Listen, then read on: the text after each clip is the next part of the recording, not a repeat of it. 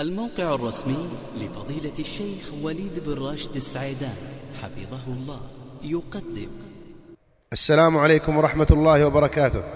يقول أحسن الله إليك ما حكم الأكل من التمر قبل إخراج الزكاة وقبل الخرص؟ الحمد لله رب العالمين. لا بأس بذلك إذا كان لا يؤثر على النصاب الزكوي لا سيما إذا كان الرطب كثيرا ونخل البستان كثيرا جدا عادة.